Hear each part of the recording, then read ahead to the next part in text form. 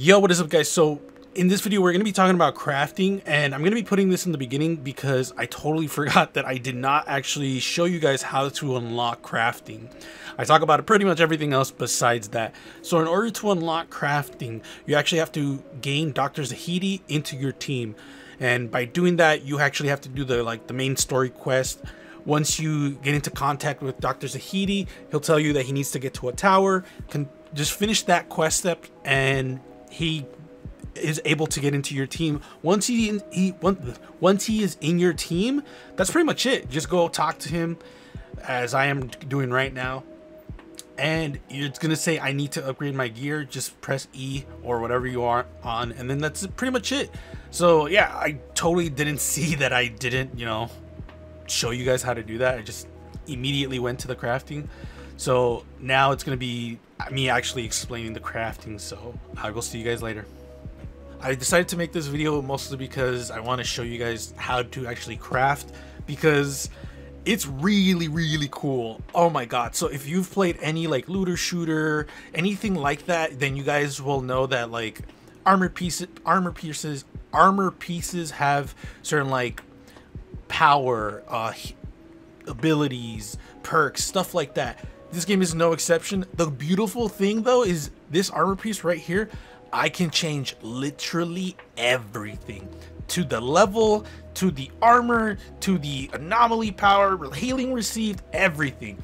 So let's look at that real quick. Improved rarity. So obviously this is going to improve it to a purple, which gives you another ability node, which is really cool. Not only that, but it also increases your armor as well. This is going to be something like, let's say I really like the exosuit uh, set like let's say I just really like it and I want to like take it with me, then this is going to be something I'm going to be using for to turn it into a purple so that way I can actually use it in end game stuff. But also raise attributes. This is going to be the thing that you can actually raise your anomaly power or your healing received. Again, this you can change whatever you want from that. The mod gear, this is where it gets really cool. You can actually change what armor uh, perks you have. So let's, let's say I want to have apply shield I can do that for 77 leather. Uh, if you want to get to the tiers 2 and 3, you obviously have to unlock them. In order to unlock these perks, you actually have to get an armor set that has that perk. So let's say I unlock this one right here. I don't know what it's called, but I unlock it because I have another gear for it. It's just going to immediately lock unlock it for me. I don't have to like dismantle it or anything. It's just going to pop up right there on my library. It's really cool, especially if you want to keep that armor set and let's say you just want to add this to this one to have two for some reason, you can do that.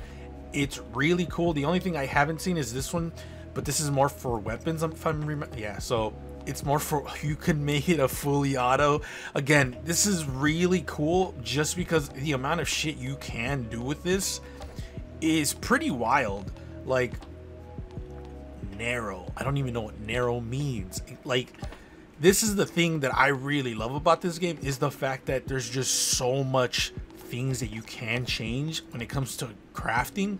Again, this one uh, bumps up your your armor to another level. So your current level, let's see if I have anything from lower levels.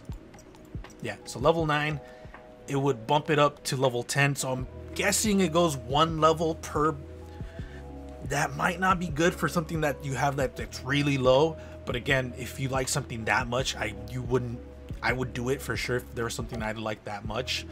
And it's really cool because you can basically like if you guys haven't seen my videos this is how my this is how my outrider looks right now. Mostly because i really like how the i had all the armor set and it looks cool to me.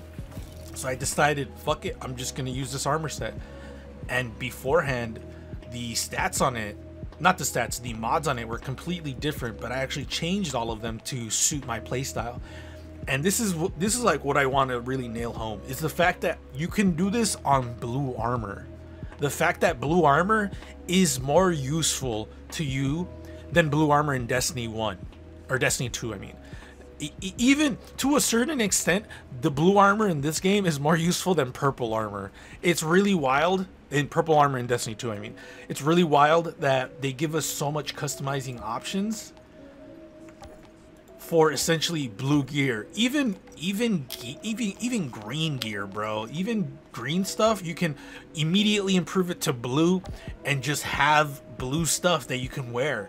You can raise its attributes as well, bro. Like if you get if you get a green helmet that you're just like, yo, that's really cool. Like skills, le life leech, cool. Bonus firepower, oh shit, cool. Then you can just improve it right here, and then actually let's do that and then I can select the mod. Obviously, it doesn't really matter because I can just do whichever one I want, and then I can improve this item. I don't want to do that because I only have 50, but it's wild that I'm allowed to do that. And now I can just change whatever I want. Like, let's say I want to do the one where it gives me, where is it? Oh wait, does, does he have it on right now? No, it doesn't. Oh, one of my one of my armor pieces has it. So let's just put this one. Do that. It's immediately changed already. I level up, I can current wearable max level, which is cool. Like it's there's just so much to the crafting in this game. I highly recommend you just look into it. Uh, if you're trying to min-max, then this is probably not going to be something you're going to want to do anytime soon, mostly because you are wasting resources. But for me, I'm going to be playing this game a ton, and if I want to look cool, it's def I'm definitely gonna go out of my way to do it because I am just that type of asshole. Let me know in the comments below what you guys think. Again, this crafting system is completely fucking awesome. I am such a fan of it. I would love to see this in other games, not just Destiny 2, but other looter shooters. The fact that I can literally change everything in this, even if I remember correctly, this game does have transmog. So even the armor itself I can change. You can change almost everything and it's fucking wild. Let me know in the comments below what you guys think. If you guys any, have any comments, questions, concerns, let me know in the comments below. I'll be more than happy to answer them. I'm loving this game right now. I'm de definitely going to be doing content for this because, again, this game is just so fucking good. So, be safe, guys. You know what's happening in the world, and I'll see you guys later.